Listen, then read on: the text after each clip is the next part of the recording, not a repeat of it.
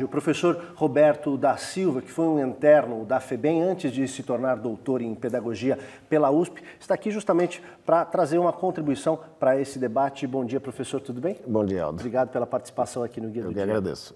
Professor, a gente é, tem, é, a- a- assim, tem trazido algumas manchetes sobre violência e essa é uma preocupação recorrente é, das pessoas.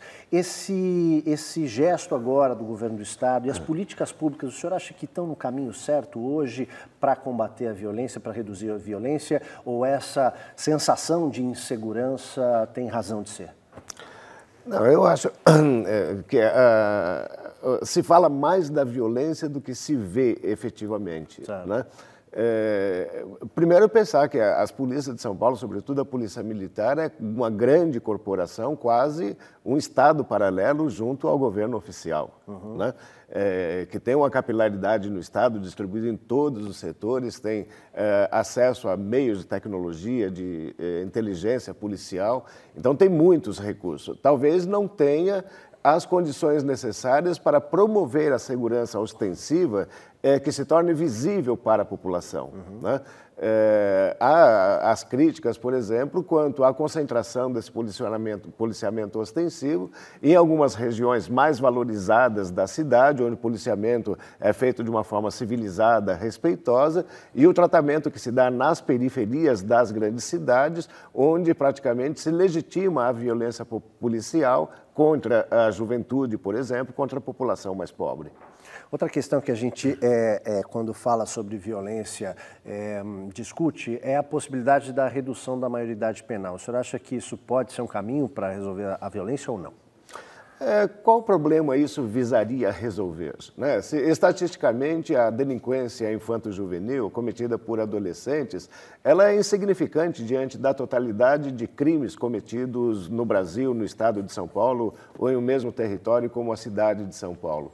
Então, é, colocar adolescentes mais cedo na, na, na cadeia, seja no sistema de medidas socioeducativas, seja no sistema penitenciário, praticamente não altera em nada a nossa realidade, diante do, do- do número pequeno que, é, eh, que são os atos infracionais cometidos por adolescentes. Talvez isso seja uma vingança, uma, uma medida que denote mais o sentimento de dar uma resposta à sociedade, no sentido de mostrar serviço, mas eh, para combater os efeitos da violência, isso não significaria praticamente nada.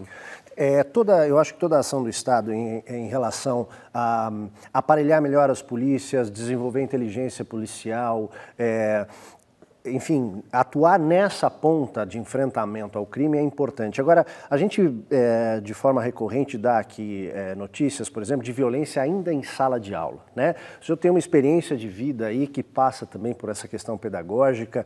É, a, a- qual é a importância das políticas públicas voltadas para a educação que valorizem esse momento da escola para promover uma, uma- uma cultura de paz e tirar, evitar que esses adolescentes entrem eh, de alguma forma para uma ação criminosa, eh, tem, digamos, para combater a criminalidade em geral? É, a escola pública cada vez se torna mais um, um- um principal foco de socialização de crianças e adolescentes diante do estado de empobrecimento da família brasileira, que transfere suas responsabilidades eh, para a escola.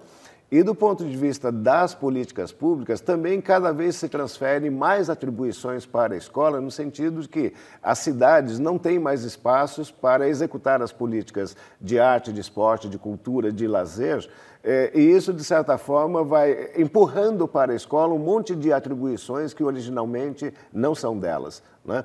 E quando se soma a isso a tentativa de prolongar o tempo de permanência de crianças e adolescentes na escola, com o modelo de escola de tempo integral, por exemplo, é natural eh, até que esses proble- problemas, a dimensão dos problemas sociais, vão de alguma forma aparecer dentro da escola pública. Então, ela se torna cada vez mais eh, um foco necessário para as ações de prevenção à violência, uma vez que na ponta anterior eh, o Estado praticamente não tem eh, programas de proteção, de fortalecimento da família, sobretudo no sentido de recuperar a capacidade dos pais de prover as necessidades dos seus próprios filhos.